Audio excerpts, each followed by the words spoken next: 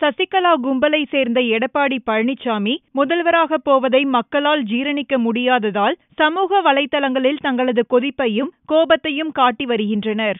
சசிகலா நேரடியாக முதல்வராக ஆசைப்பட்ட போது மக்கள் பெரும் அதிர்ச்சியடைந்து கொந்தளித்தனர். ஆனால் பன்னீர்செல்வம் ரூபத்தில் அது தடுத்து நிறுத்தப்பட்டது. இனி பன்னீர்செல்வம் பக்கம் அதிமுக எம்எல்ஏக்கள் முழுமையாக வருவார்கள் என எதிர்பார்க்கப்பட்டது. ஆனால் சசிகலா கும்பல் தொடர்ந்து தனது கஸ்டடியிலேயே எம்எல்ஏக்களை வைத்திருந்தது. அவர்களை விடுவிக்க முன்வரவில்லை.